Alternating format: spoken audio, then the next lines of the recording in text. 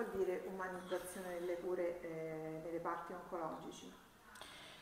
Significa mh, fare in modo che i pazienti si trovino a proprio agio nel momento in cui entrano eh, nel reparto oncologico e devono affrontare un percorso terapeutico. Significa trovare un ambiente familiare, un ambiente eh, dove devi vivere necessariamente un periodo difficoltoso della tua vita, ma lo puoi vivere in maniera diversa. Ehm, quello che noi abbiamo ascoltato molto i pazienti che vengono, che seguiamo con il progetto Viva e abbiamo, eh, ci siamo resi conto che eh, avevano, non chiamiamolo lamentele, però eh, avevano del disagio a volte nel momento in cui loro, durante le loro sedute terapeutiche, ehm, quelle giornate erano sono particolarmente lunghe, diventano mm, anche estenuanti e, ehm, e, quindi sentendo, ascoltando i loro bisogni, ehm, abbiamo pensato che era arrivato il momento di parlare di umanizzazione eh, proprio delle cure. E, ehm, oggi se ne parla molto in tutti gli ospedali e quindi eh, la, la, cosa più semplice mm, che abbiamo fatto è stata quella di andare a parlare con i vari primari di Teramo, di L'Aquila di Avezzano e mm, presentare a loro il progetto che avevamo in mente. Ovviamente è stato accolto a braccia aperte proprio perché è una patologia, come sappiamo, che sta aumentando sempre di più e che colpisce eh, età sempre più, eh,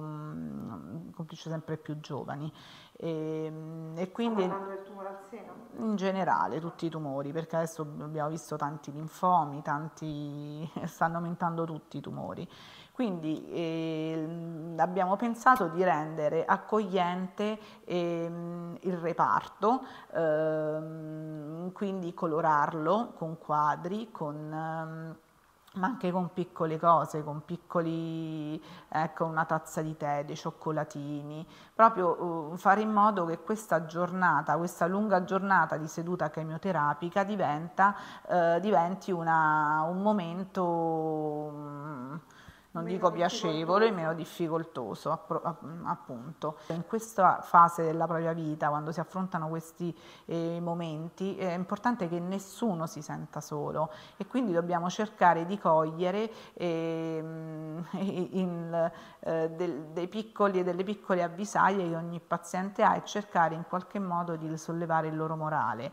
Abbiamo in mente tante cose, ovviamente abbiamo bisogno di gente che ci aiuti, volontari, abbiamo bisogno in mente di mm, mettere una filodiffusione proprio nei reparti di oncologia, portare i colori, portare un po' di musica, di, mm, ma musica intendo anche dire non solo con la filodiffusione, anche far entrare dei musicisti con un violino, con una, eh, con una chitarra, eh, un attore che legge una poesia, un libro, una storia, oppure delle, semplicemente delle donne che portano portano dei grandi cesti di gomitoli e iniziano a filare un qualcosa, a costruire un qualcosa, un percorso in fondo, no? come devono fare loro il percorso le pazienti oncologici, che così diventa anche questo lavoro un percorso. L'umore aiuta tantissimo, noi l'abbiamo visto in questi anni, ormai dal 2019 lavoriamo sui pazienti e ci siamo resi conto di come, eh, avendo un buon umore, di come affronti diversamente la malattia. Ovviamente i problemi problemi rimangono, però noi cerchiamo anche di,